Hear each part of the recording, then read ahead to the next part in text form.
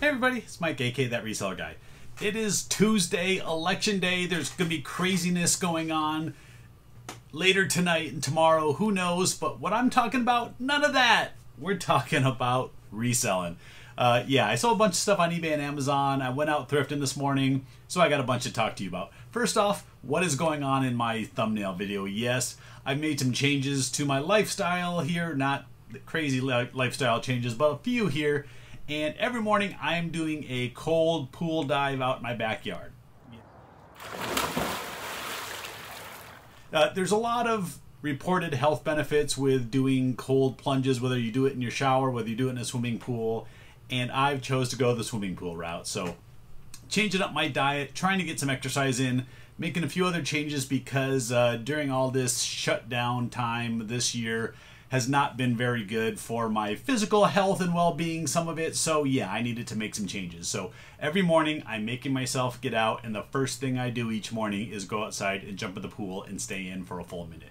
Now that time will be going up. I'm just trying to get uh, used to it. This morning uh, I did it Sunday, Monday, Tuesday, which is today. So I've done it three times in the morning, and trust me, it's tough to make yourself jump in the pool, and that's the whole point of the thing is you don't want to do it. So sometimes making yourself do something you don't want to do is important. We all have a death pile. We don't want to get to it, but we need to. We need to eat better. We need to, but we don't do it. We need to exercise. We need to, we don't do it. So I'm wrapping up all these things into one and trying to be a little bit better me here from here on out. Now, right now I'm just looking at November and December. So through the end of the year, I plan on jumping in that swimming pool every morning.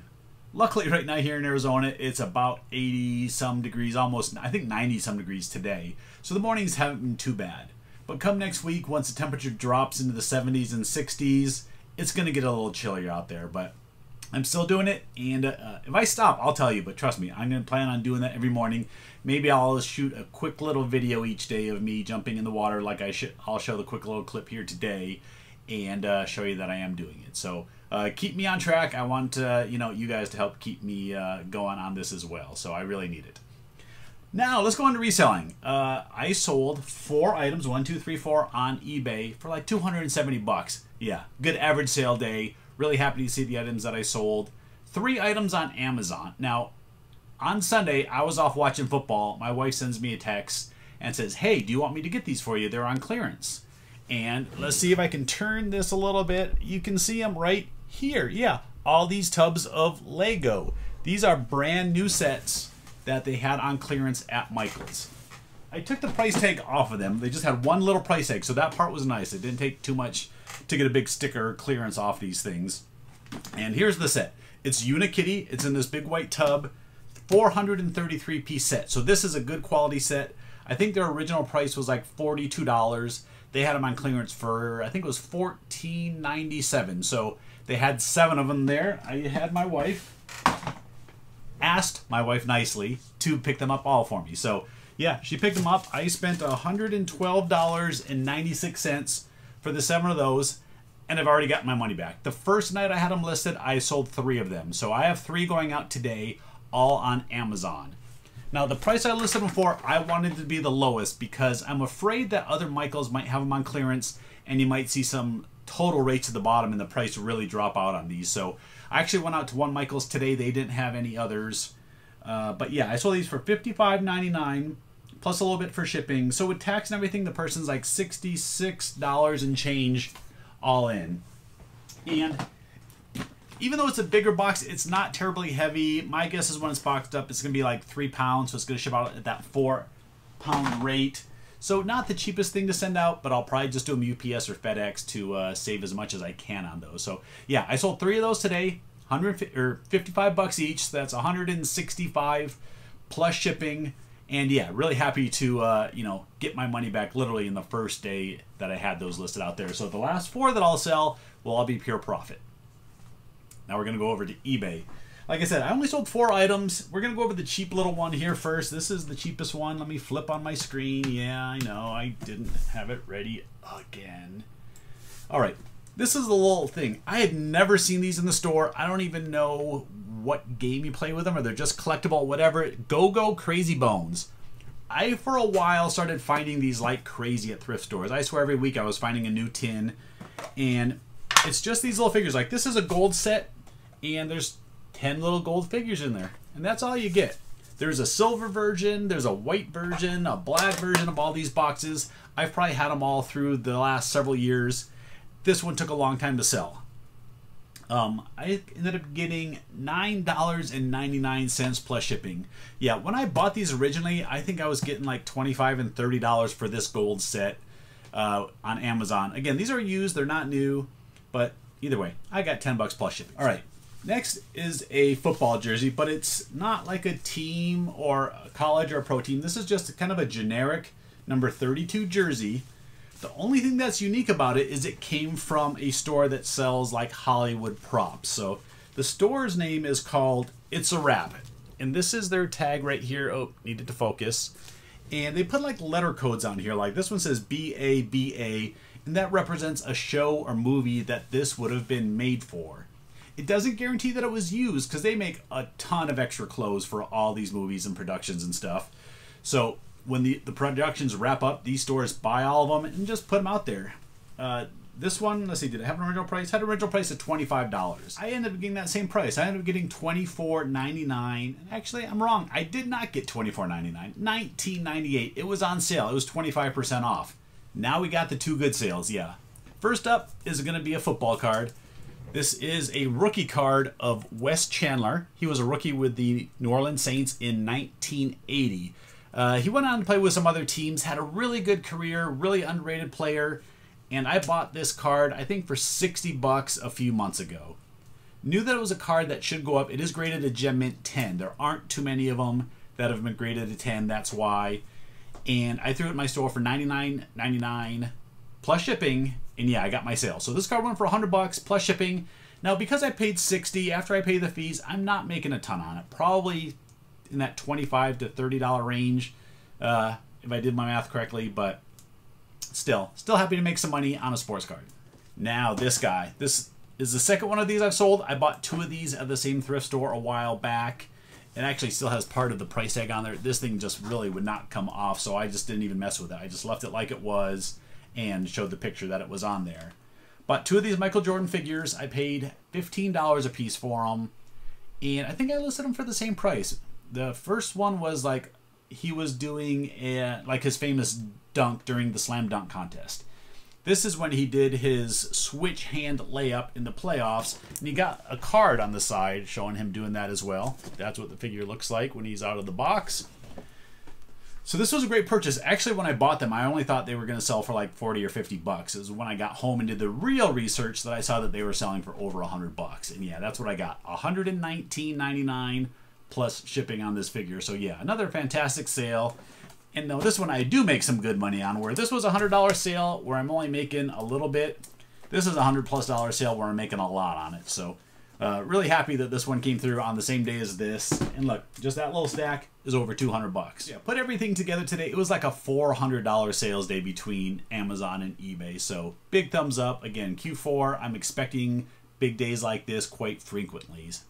All right, that's it for sales. Like I said, I did go out thrifting this morning and I picked up some cool stuff. So I'm going to show you what I got.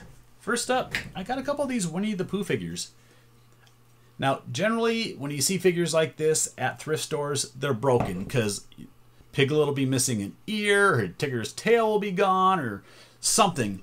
These were complete. These were good. They were $4.95, and I'm probably going to put them both in my booth. Uh, probably for like twelve ninety five. They sell anywhere in that ten to fifteen dollar range. Maybe this one I looked was about twenty on eBay.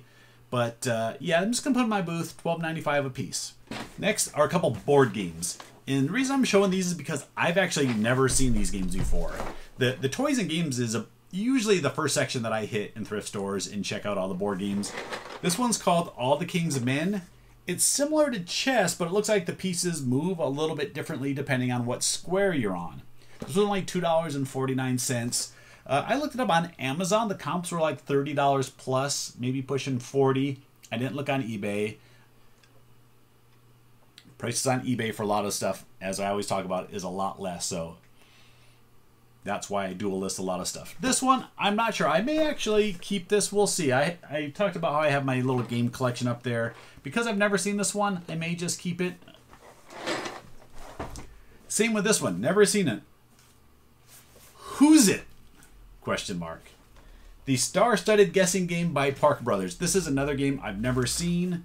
Let me see if there's a date on this box. This has got to be like 80s or maybe 70s even. No date on the box. Actually, it's missing a panel. Either way, I thought this was pretty cool. A nice old vintage game. Again, $2.49. Same thing. I scanned it and saw that they were in that high 30s to $40 range on Amazon. And uh, yeah, I may keep it. All right, how could I pass this next one up? Look, that's So Raven handheld video game. Uh, this is made by Zizzle Electronics. Zizzle. Never heard of that company, but I scanned it and there was only, I think, one on Amazon, and I don't remember the price. Okay, take a quick break to look it up. There's one on Amazon. They're asking $39.99. Now, its rank is like 2 million plus on Amazon, so it's probably never going to sell there. I will cross list this between eBay and Amazon, and I'll probably put it for 30 bucks. So I'll put it a little bit less. This was marked 449. I used my coupon, so we'll say 350 is what I paid for it. But yeah, I mean, this is a game that isn't listed out there. If there's any That So Raven fan out there, they'll need this. All right, Christmas stuff is starting to hit the shelves at the Goodwills. They took out all the Halloween stuff. They're filling it up with Christmas, and I like to hit those because you can find a lot of good deals on those. And this is the first thing I found. This Little People, they call it Little People Christmas Story, but it's a nativity scene here. Uh, all the figures, Pretty cool set. This was only marked $5.49, and I did use my coupon, so four bucks is what I paid. Really cool. I'll probably put this in my antique booth, and my guess is it's got to be about 20 bucks. Yeah, I bought some maxi pads. Uh, these were two bucks for this vintage pack of man maxi pads. Let me see if there's a date on this box. 1984. These are from the early 80s. I was in just starting high school when these things were made. Uh, there's no comps for this exact box on eBay, but from what I saw, $30, $40 isn't out of the question, and yeah, I paid two bucks for them. This last one back here, you know what I'm going to need this for? Counting all my money, yeah. Uh, hopefully Q4 I'm going to need one of these to count all of my money that I'm going to take in from sales. I've never seen a currency counter at a thrift store, and you can see the price here if you can read it. It was 29 99 but I looked up this model on Amazon and one is used and they're asking $190 for it. The new ones were more expensive.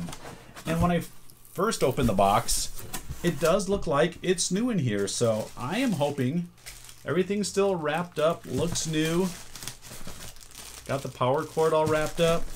Even if it's used, I'm going to look on eBay real quick. I will take another break. All right, I looked it up on eBay real quick because I wanted to see what they were selling for on there. There are currently 16 available for sale and there are 17 sold, so it has a fantastic sell-through rate. Uh, the cheaper ones are out of the box, just the base unit itself. Doesn't include like the little digital display and the other parts with it.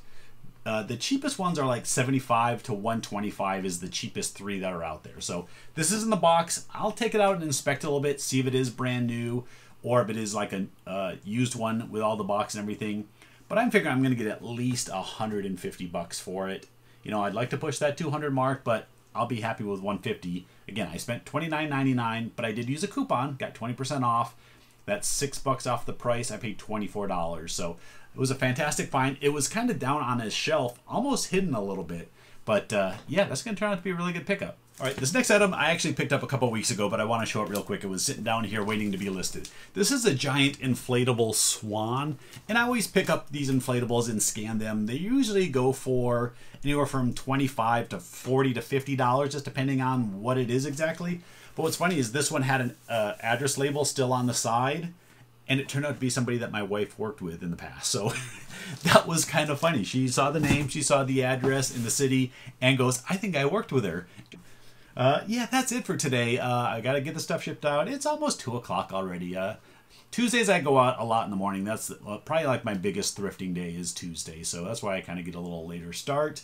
But uh, yeah, that's it for today. So uh, thanks everybody. Uh, I hope you have a nice, safe night. If you haven't already, please hit that thumbs up button. And if you're new, you like content like this about reselling, thrifting. Uh, I haven't talked about my antique booth too much. I might go out there tomorrow. So if you like antique booth talk, hit that subscribe button. All right, thanks everybody for watching. I'll see you next time.